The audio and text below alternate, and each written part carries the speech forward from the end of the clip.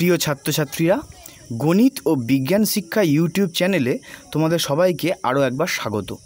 এই ভিডিওতে আমি সপ্তম শ্রেণির পরিবেশ ও বিজ্ঞান বিষয়ের আলো যে চ্যাপ্টারটা রয়েছে, সেই চ্যাপ্টারের গুরুত্বপূর্ণ প্রশ্ন ও উত্তরের সহজ আলোচনা করব।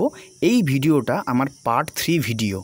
এর আগের ভিডিওতে আমি পার্ট ওয়ান এবং পার্ট টু ভিডিও দুটো বানিয়েছি। সেই ভিডিওগুলো যারা দেখোনি, তারা ডেসক্রিপশান বক্সে গিয়ে তোমরা ওখান থেকে দেখে নিতে পারব। পারো? আমি এছাড়া আমি এই ভিডিওর শেষে প্লেলিস্ট দিয়ে দেবো, সেখান থেকে তোমরা দেখে নিতে পারো। তাহলে আজকে আমি পার্ট থ্রি এর ভিডিও শুরু করতে চলেছি। এর আগের ভিডিওতে আমি উনপঞ্চাশ নম্বর প্রশ্ন আমি দিয়ে দিয়েছি। আজকে আমি পঞ্চাশ থেকে শুরু করছি। পঞ্চাশ নম্বর প্রশ্ন, একটি লঘু মাধ্যমের উদাহরণ দাও। একটি লঘু মাধ্যম হলো বায়ু মাধ্যম। একান্ন নম্বর প্রশ্ন, একটি ঘন মাধ্যমের উদাহরণ দাও। একটি ঘন মাধ্যমের উদাহরণ হলো জল, কাঁচ। বাহান্ন নম্বর প্রশ্ন, আয়নায় গঠিত প্রতিবিম্ব ও বস্তুর মাপ কেমন হয়? আয়নায় গঠিত প্রতিবিম্ব ও বস্তুর মাপ সবসময় সমান হয়। তোমরা সবসময় খেয়াল রাখো তোমরা আয়নার সামনে দাঁড়াবে, দেখবে তোমার যা সাইজ আয়নাতেও সেই সাইজটাই দেখা যাচ্ছে। তিপ্পান্ন নম্বর প্রশ্ন, প্রতিবিম্ব কয় প্রকার ও কি কি? প্রতিবিম্ব হলো দুই প্রকার, যথা সদ্বিম্ব আর অসৎবিম্ব সদ্বিম্ব সরি সৎ প্রতিবিম্ব আর অসৎ প্রতিবিম্ব। এবারে আমরা জানব চুয়ান্ন নম্বর প্রশ্ন। সিনেমার পর্দায় কেমন প্রতিবিম্ব ঘটিত হয়? সিনেমার পর্দায় সৎ প্রতিবিম্ব ঘটিত হয়। পঞ্চান্ন নম্বর প্রশ্ন, সমতল দর্পণে কী রকম প্রতিবিম্ব গঠিত হয়? সমতল দর্পণে অসৎ প্রতিবিম্ব গঠিত হয়। তাহলে তোমরা এটা খেয়াল রাখবে যে সিনেমার পর্দায় সৎ প্রতিবিম্ব আর সমতল দর্পণে অসৎ প্রতিবিম্ব গঠিত হয়। ছাপ্পান্ন নম্বর প্রশ্ন, আয়নায় গঠিত প্রতিবিম্ব কেমন প্রকৃতির? অর্থাৎ আয়নায় যে প্রতিবিম্বটা গঠিত হয়, সেটা কেমন প্রকৃতির? সেটা সমশীর্ষ প্রকৃতির। এবার সাতান্ন নম্বর প্রশ্নে আসছি। আয়নায় বস্তুর প্রতিবিম্ব ড্যাশ পরিবর্তন হয়। আয়নায় বস্তুর প্রতিবিম্বের পার্শ্বীয় পরিবর্তন হয়।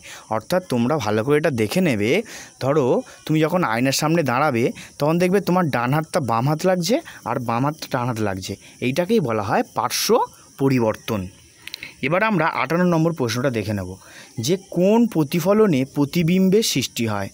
নিয়মিত প্রতিফলনে প্রতিবিম্ব সৃষ্টি হয়। উনষাট নম্বর প্রশ্ন, খুব ইম্পর্টেন্ট প্রশ্ন অ্যাম্বুলেন্স কথাটি উল্টো করে লেখা থাকে কেন? তোমরা সবসময় দেখবে যে অ্যাম্বুলেন্স কথাটি গাড়ির সামনে লেখা থাকে, সেটা দেখবে উল্টো করে লেখা থাকে।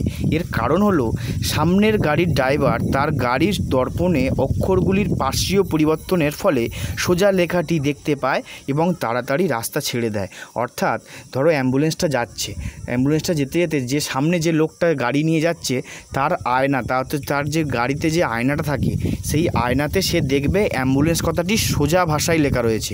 অর্থাৎ ওখানে যখন উল্টে রয়েছে, তার আয়নাতে সোজা ভাষায় অ্যাম্বুলেন্সটা লেখা রয়েছে।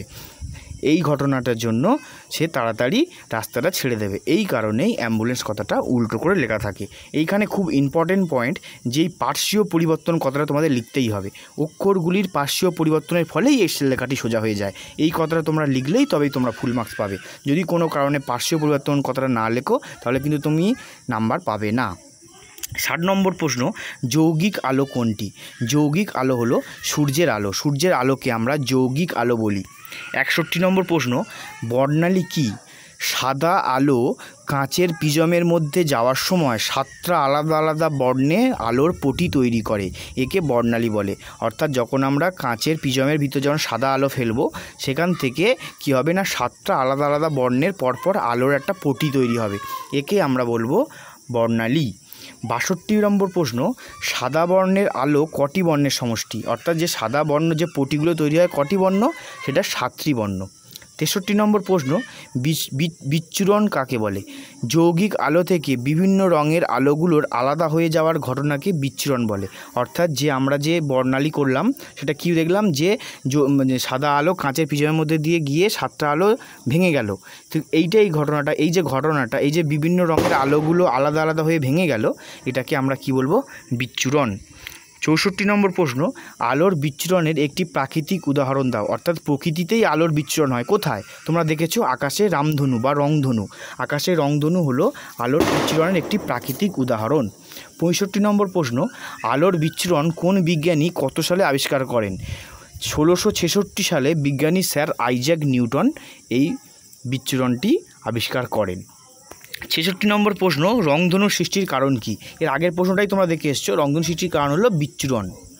সাতষট্টি নম্বর প্রশ্ন একবর্ণী আলো ড্যাশ গঠন করে না একবর্ণী আলো বর্ণালী গঠন করতে পারে না। ঠিক আছে? আচ্ছা এবার আসছে আটষট্টি নম্বর প্রশ্ন, দুটি ক্ষতিকারক অদৃশ্য রশ্মির নাম লেখো। দুটি ক্ষতিকারক অদৃশ্য রশ্মি হলো অতিবেগুনি রশ্মি এক্স রে রশ্মি এক্স রশ্মি। এগুলো হচ্ছে কি? ক্ষতিকারক রশ্মি। এরপরে উনসত্তর নম্বর প্রশ্ন, চামড়ায় অতিবেগুনি রশ্মি পড়লে কী রোগ হতে পারে? আমাদের যদি শরীরে চামড়ায় অতিবেগুনি রশ্মি পড়ে, তাহলে সেটা ক্যান্সার হতে পারে।